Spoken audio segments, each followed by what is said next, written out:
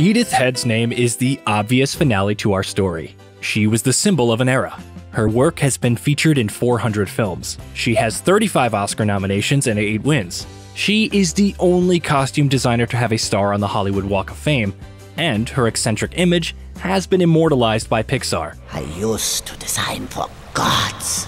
But in the 1920s, young Edith didn't even think about the film industry. She graduated from the Department of Theology at the University of California and received a master's degree from Stanford, after which she got a job teaching French. To improve her modest financial situation, she began teaching art to children, despite the fact that she only had briefly studied it in high school. Nevertheless, parents had entrusted her with the task, so in the evening she attended drawing classes to at least partially improve her skills. That's when chance intervened with Edith's measured life. Her students, the daughters of director Cecil DeMille, invited Head to the set of her father's new film. Edith was immediately captivated by what went on behind the scenes of filmmaking, and so she decided to get a job as a costume designer at the studio.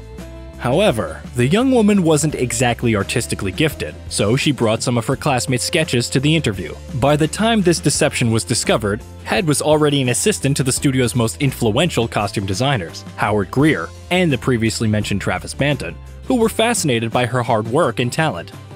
Edith's first solo project was the main character's dress in the film, She Done Him Wrong.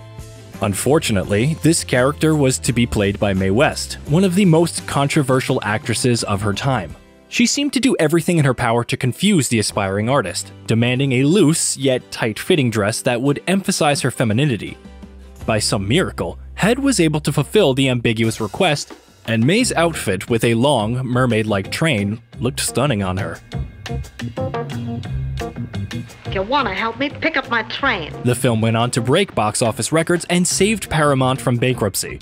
Edith was soon leading the studio's design department and did so for the next 44 years. To list all of her merits would require a six hour documentary, because during her most prolific period, she was involved in 30 films a year, Alfred Hitchcock was one of Edith's biggest fans. The director was introduced to the artist by Ingrid Bergman, who wanted Edith to create outfits for her character in the film Notorious. The director honored the star's request and fell in love with Head's talent. Bergman wore nothing but white, black, or black and white outfits with no patterns, which didn't distract from the actress's charming appearance even for a second. Hitchcock was a cantankerous perfectionist, but he admired the artist's minimalist ideas. Edith would go on to create the wardrobes for 11 films by the master of suspense. Head would later characterize their 30 year working relationship as an education in restraint. The artist apparently also received a lesson or two in humility. Her costume design for Roman Holiday brought Edith an Oscar.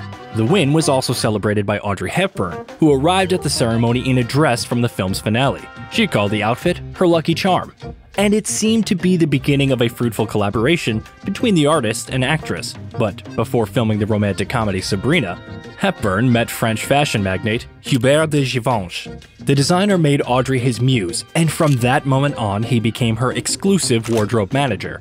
Hepburn immediately began criticizing Head's sketches and innovations, so none of the artist's ideas made it to the shooting phase. However, Givenchy's name was not credited in the film, and it was Edith who received the Oscar for the costumes featured in Sabrina. To top it off, Head didn't even mention Givenchy in her acceptance speech. In a later interview, she expressed her indignation, a feeling she shared with hundreds of her colleagues. Couture has copied many things for years, in addition to countless other costume designers claiming theirs were the original ideas. It's all part of the business, unfortunately.